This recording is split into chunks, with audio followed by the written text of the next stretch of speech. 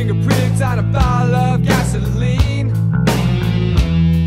We found it on Friday.